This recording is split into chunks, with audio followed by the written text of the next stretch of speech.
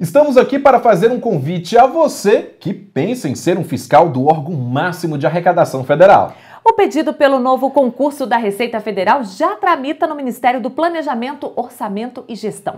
E apesar da redução de gastos do governo, a expectativa é que o edital seja liberado logo. É, com a queda de arrecadação do governo federal, a aposentadoria de auditores em todo o Brasil, há uma grande necessidade de repor o quadro de funcionários. Por isso, uma nova seleção é inevitável. E você não pode esperar que notícias boas apareçam para começar a estudar, né? Que tal se preparar com o projeto Receita Federal?